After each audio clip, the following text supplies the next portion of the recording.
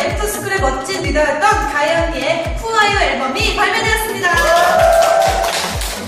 네, 타이틀곡은 마음에 드는 이성에게 쿨하게 다가가서 표현하는 그런 가사가 인상적인 이쯤이라는 곡인데요. 네, 이번 앨범에는 가연이가 작사에 참여하는 등 아티스트로서의 어, 모습을 볼 수 있는 기회가 옵니다. 여러분, 가연이 많이 사랑해주세요.